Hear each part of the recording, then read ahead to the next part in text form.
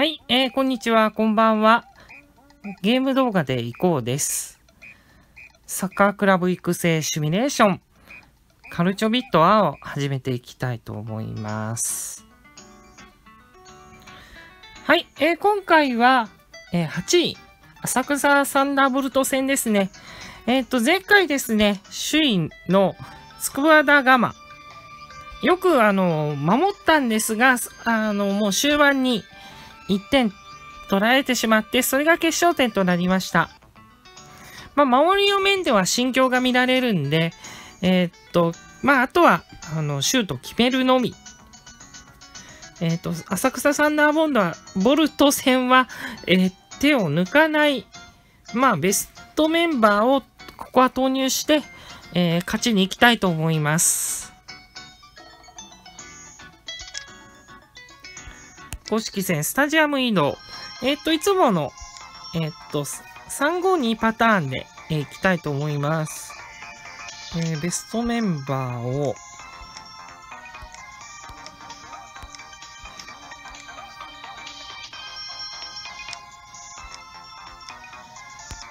鬼丸もまあ悪くはないんだけど、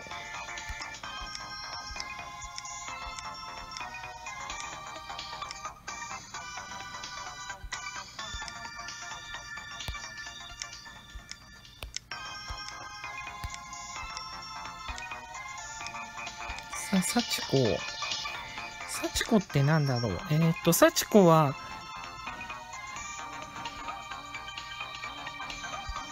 なるほど。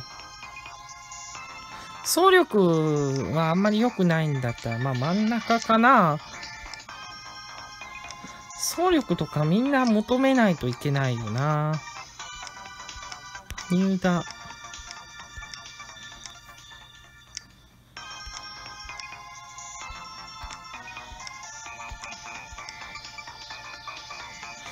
みんな走力上げていかないといけないよな。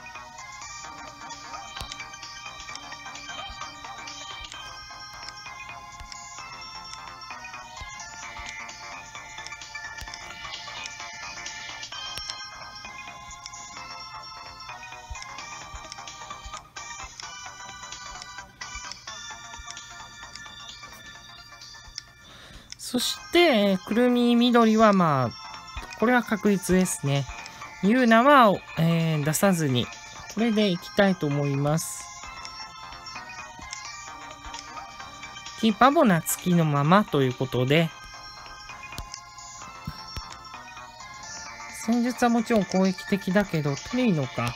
これのワントップなんですね。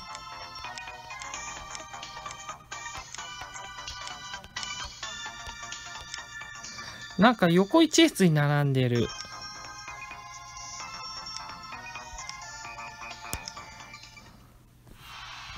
さあ、なんか雷門のところで試合をやるみたいですね。ライジングスタジアム、赤いです。うん、N1 さすがにお金があるチームばっかりだけなのに。で、装飾も派手ですね。すごいな、これ。目が痛みそう。一抹模様です。さあ、しキックオフ。し本当にこんなところは、試合はリアルなんですが、こういう装飾がいいですよね。あっと？あーっと、イエローカード。幸子がもらって、いきなり早々もらってしまいました。やりにくいよなこれ、幸子。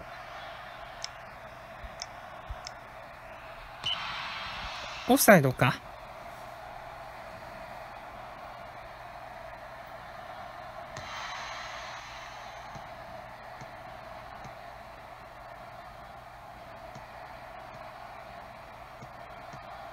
おっと、チャンス、窓か。選手点。早々に決めました。お見事。まず、服を脱いで喜びます。これ、どうなのかな？このみゆき、縦攻撃いいですね。フォワードじゃなく、まどかが決めたっていうところは、あの、意味があると思います。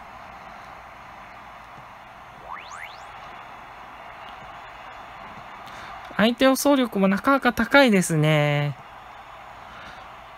ちょっと相手のペースになってよ。みゆきナイス。パスで、パスを使って困惑してますね。おっと、うまい !7 個。これはキーパーが。高さ、ん？草薙が。ちょっと動けないぞ。反応ができない。綾香。ファールかな？ファールでした。綾香もイエローカード。イエローカード多いですよね。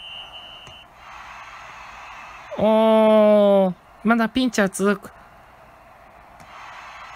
気をつけないと。オフサイドか？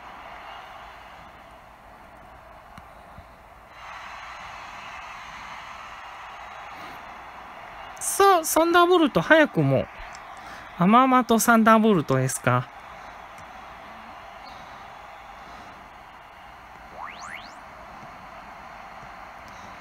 おっと、抜けられたこれは？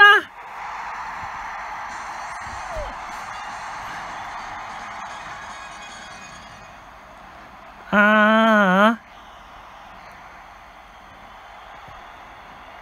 機関車トーマスから草薙を剣、トリノ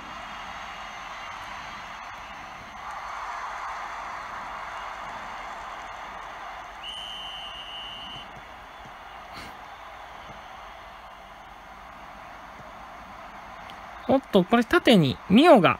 おーっと、警戒に鳴らすが、これは繋がらなかった。あーっと、インターセプトされてしまった。ここはキーパーが。幸子が大きく上げて、代打緑だ。ファールにはならない。お、気をつけろおーっと、防ぎました。ファールか、これも。さあ、まどかが中を割ってくる。そうすると、ミオがあって、代打、あー、繋がらない。まどか、今度は代打、ミオが、あーっと。打っちゃえばよかったかもしれないですね。さて、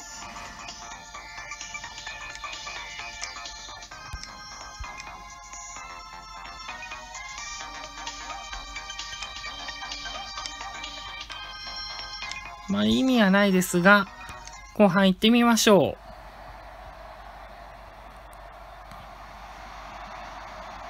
さあ、タッチ、タッチしながら、ポジションを変えます。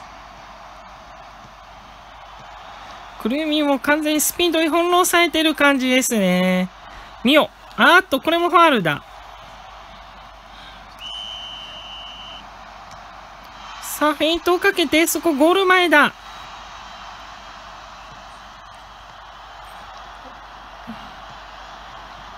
さあ、奈々子が走っていく。センタリング上げて、そこを緑が待っていた。再び勝ち越し。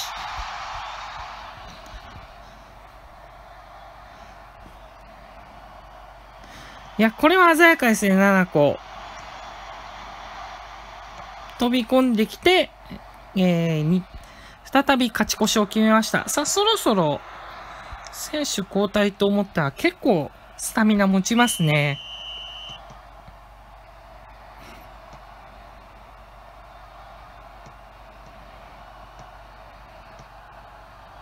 さあ、またピンチ。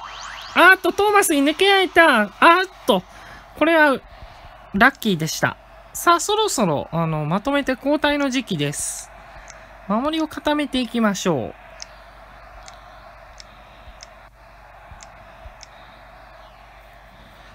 えっと、さつき、まなみ、さつきかな？さつきを羽生田へ。かなを。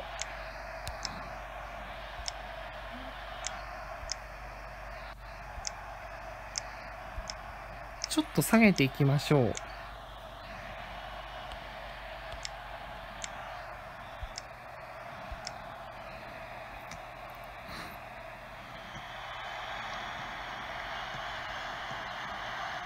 さあ、7個。再び7個。あーっと取られてしまった。ナイス、幸子。再び7個が走っていきます。さあと、これは、決まらない。草薙が、くるみが、まただ。今度はくるみがイエロー3個目ですよ、チーム。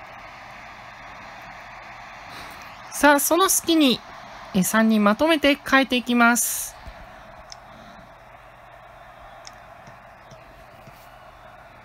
くるみが、おっと？今度は相手側の生駒がイエローでした。さす緑が上げていく。さあ、もう1点欲しいですね、ここは。7個。再度上げていくが、チャンスは続くがうまくいかない。出ました。さあ、時間をどんどん進ませていく。っていうことになりますね。まどかからあやか。おっと、今度は誰だ？くるみだ。出た。さあ、チャンスです。追加点欲しい。幸子あーっと。後ろに行った。くるみがまだ元気です。あっと？あっと。イエローにはならないが。さあ、ゴール前のセッツだと思った、これはオフサイドでした。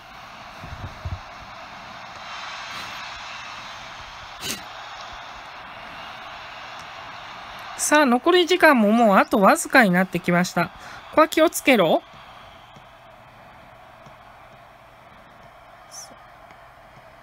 あと、ちょっとやばい、これは。アディショナルタイム。あーっと取られてしまった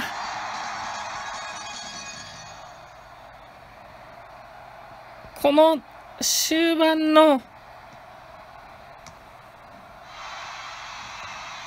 トーマスが機関車のごとく突っ込んできた。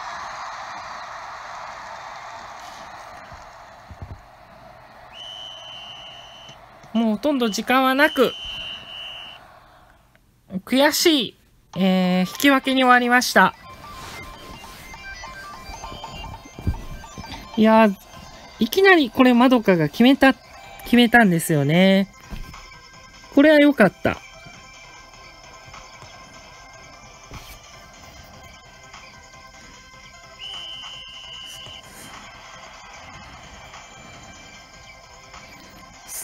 さあ、同点に追いつかれます。トリノが抜けて、うーん、鋭く打ち込んで、同点へ。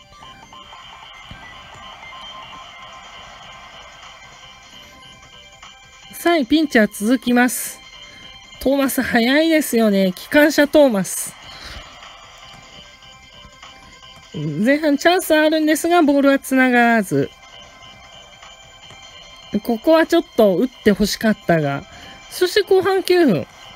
これは鮮やかでした。7個が走って、緑に繋いで、緑がゴール。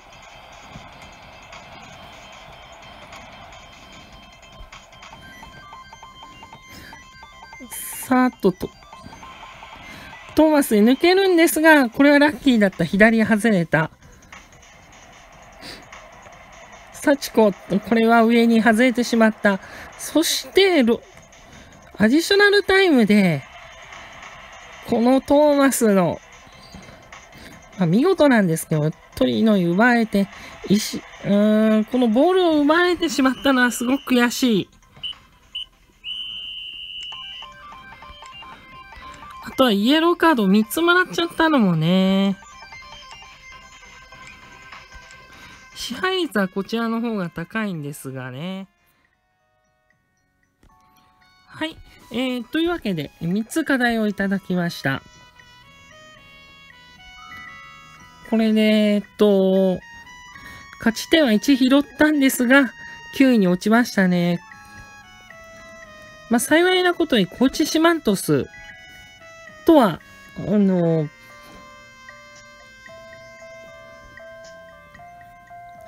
差を広げたということで、はい、次は瞑想例沖縄ですね。えっと、タフな試合が続きますが、えこれを終わると1試合、え休みをいただけるんで、ここもベストメンバーで戦っていきたいと思います。そして、選手の補強ですね。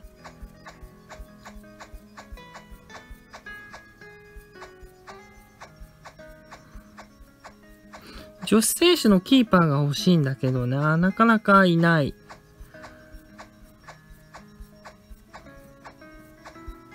いないですね、女子選手。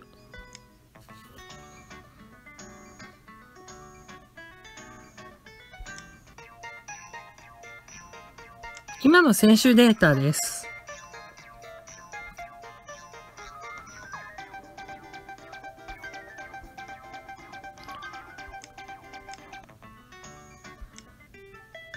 はい。えー、メンソーレ沖縄の選手データを見てみましょう。すごいな、このフラスコ。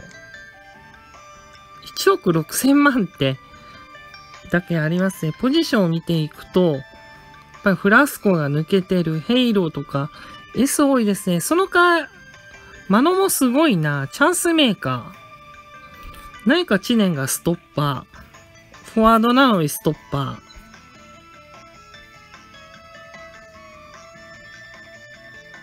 リベロ、リベロ、オールラウンドとか入ってますね。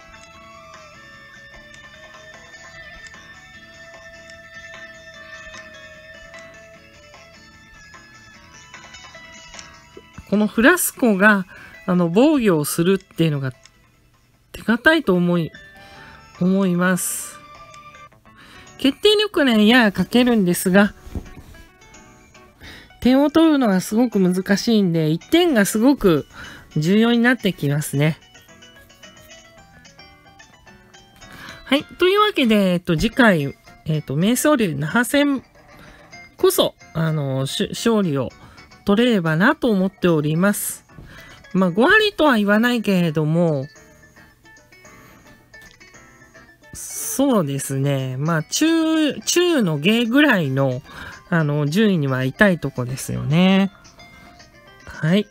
えー、というわけで、また次回、えー、よろしくお願いいたします。ご視聴いただきありがとうございました。ゲーム動画でいこうでした。